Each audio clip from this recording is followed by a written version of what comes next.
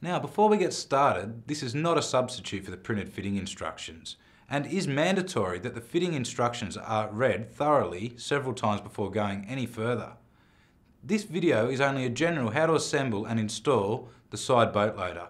Each fitment will differ slightly. Place the bridge support over the round support bars where you visualise for the top sliding bars to go. Make sure the small half of the clamp is facing the driver's side of the vehicle. Tighten these bolts up which will allow you to be able to lift and locate the two M6 channel nuts later on.